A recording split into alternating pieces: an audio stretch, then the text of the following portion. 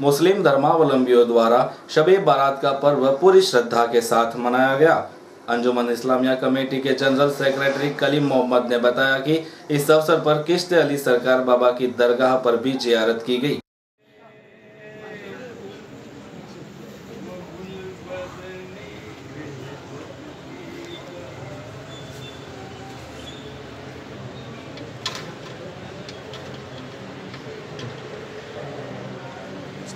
news वाले भी देने